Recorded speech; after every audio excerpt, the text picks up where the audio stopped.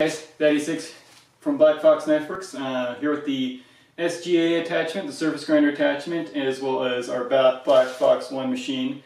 Um, it's built up as the Pro model, which will hit our website in uh, early October. Um, getting some built up right now, so if you want them, just email us, go find us on Instagram, hit us with a DM, and reserve your machine. They'll be about uh, 3500 for the full build. That includes VFD, all the built-in controls going to the base, so it's a really slick, slick machine. Uh, on-the-fly variable tension, so really cool. Um, but in this video, I just wanted to show you actually this um, desk I've been testing out. So this desk, uh, it is a up-down desk. Um, this one was, I got the base off of Amazon. I can put the links uh, on our website as well as down below. Um, and then I've kind of been playing around with it, trying to get it stiff enough to use with the grinder. Um, you can see when I turn the grinder on here in a bit, um, the grinder itself is very, very stable, but as you put more weight on top of, let's say, for example, something easy to visualize is like a flagpole. So if you put a huge weight at a flagpole and you start pushing on that weight, it's going to sway more because you have more weight up there and it's going to cause these vibrations. With this grinder being about 150 pounds, um, the table's okay to lift it can lift 250 pounds. Uh, but the problem is, is you have a lot of weight up top, and as you push on this weight, when you grind, it does have a tendency to move. See, I'm, I'm used to using uh, this table here, so it's, uh, it's set up very high for when I was doing woodworking back in the day, and so it's easier to use chisels and stuff and, and get, get the wood close to you for hand tools. Um, it is built into the wall, so this is a very stout table, it doesn't move at all. Uh, unless you bring the whole wall down. But this one, um, being up here so high, it does have a tendency to move. The grinder itself is very smooth. As you start pushing on it, you can kind of see it moves. Um, it was worse when I had this single piece of plywood down here. This is kind of a cheaper plywood, so it's really flexy and bendy.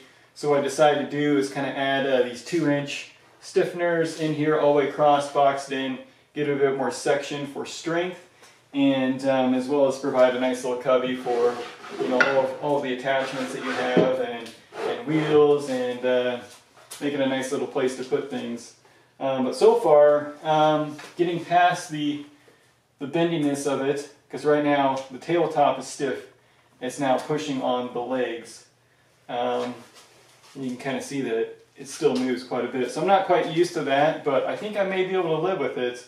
Kind of built it up as a show, show machine, show table for um, conferences that we do. So we bring, bring it to Blade Show. Um, I think it's really nice because you know everybody's different height, size, so you can get the machine down, visualize how you're grinding on it. I think it's just going to be worth it for shows at least. That may make its way into my office inside the house if I decide that I get annoyed with, with how tipsy it is. So, but it's pretty cool. You can uh, set four different channels. So right now I've set, got a preset at one, so it's probably going to go all the way up and then lock, and then you can set four different ones. If I want it to go down, um, if you just want to manually tune it in, you can just hit these little buttons here, up or down. Um, goes down to about, uh, I think this one is about 28 inches at the lowest on top of this, and I added another two, uh, about three inches, so it's about 31 inches to the lowest. So maybe if you're sitting, you want to do some sitting and grinding, it may get down there for you. You have to have a kind of a, a taller chair, maybe a bench or a, a, a stool or something. Let's go ahead and bring it up because I like to grind usually when I stand. So right about there. So what I want to do now is uh, kind of demonstrate the uh, Black Fox 1 Pro electric tensioning system and switching over tools from the SGA to our Contact Platen. Alright, so to do that, um, I've got to turn on the machine power, uh, and then I can use the electric tensioning system decrease tension, take off the belt. I'm going to remove surface grinder attachment. Just going to set it vertical, add the belt back on. To do this, you just want to keep it loose until you get the belt on, so it's a nice good tension to get belts on and off. Maybe give it a little extra there lock it into place, and then increase the tension. Now this here is going to be hard to see on the video, but it's got graduated marks, and every mark's about 10 pounds of force. So as you increase the, the tension, you can see that these marks are going to disappear or line up with the bottom of this. So I usually go to about 40 pounds, like between 30 and 40 pounds of force. Um, and then you're ready to rock and roll. So now what I want to do is kind of show the grinder running with this tabletop. And then I've got a piece of uh, scrap steel here. We'll just kind of push on it so you can kind of see what it does when you're working with it.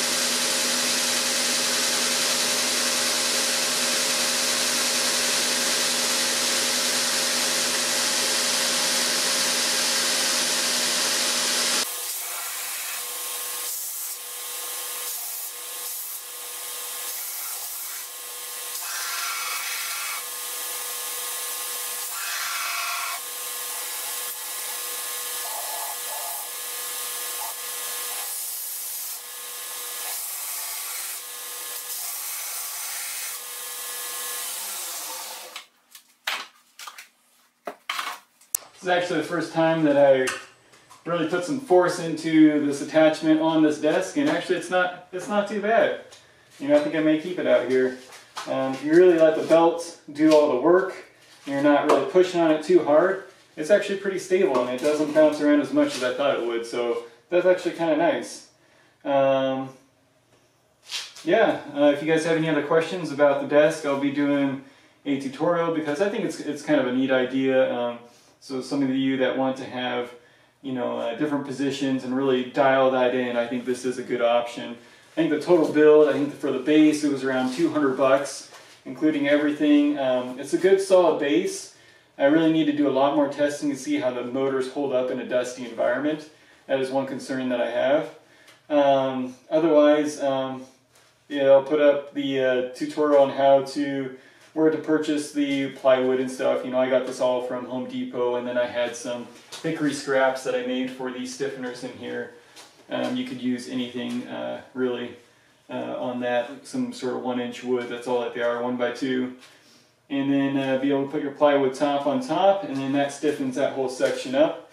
And then from there down, you know, it's just kind of up to the sheet metal that they use. And but they, these people, um, uh, I can't remember the name of them, Got their sticker around here somewhere, but um, they actually do a pretty good job underneath. You've got the motor, um, this is shortened up, so you, it's like 48 inches at the minimum that you can do. You can spread it out even further. I think it was up to, I want to say around 80 inches wide you could do. I can just, I just wanted it short. Um, that way your, your, your load is more concentrated if you were to spread the legs out. I would think that you would have more tipping um, keeping everything more compact to be more stable. Um, but some of you guys can try that. Let me know how it goes. It's got uh, good wire routing, so I'll probably um, wire, do all the routing and stuff, make it look much cleaner uh, than it is. Um, all the components themselves are, are pretty good uh, coated. I kind of checked the uh, slip joints on it, and the slip joints look um, look really good, really tight. Uh, they got some shims in there that, that make it pretty tight. I was kind of playing around with it, trying to figure out where the wobble was. And uh, I think it was all, all on the tabletop that I had originally on there. Stiffening that up has really gotten rid of a lot of the wobble. And then from there, I think it's just based on putting this large mass on top of uh, these legs and these two points of contact here, which uh, which kind of is the problem wobble now. But as you can see when I was pushing on it, you know, there isn't actually too much wobble. Just when you're really pushing on it, even then, I mean, it's not too bad. I'm actually kind of surprised. The worst part is, is when you do the surface grinder and you're going back and forth, you get a lot of momentum, you stop it and you go this way, that's when it can get kind of wobbly, but you're kind of locked in with the surface grinder um, to your to your points of contact, so the whole thing's moving. So that doesn't necessarily affect your cut on the surface grinder. It's just when you're doing hand grinding, you you know, it's just moving on you. So, so if you guys have any questions, just email us, info at blackfoxknifeworks.com. Check us out on Instagram. You can DM us there or Facebook. Um, so lots of different ways to contact us.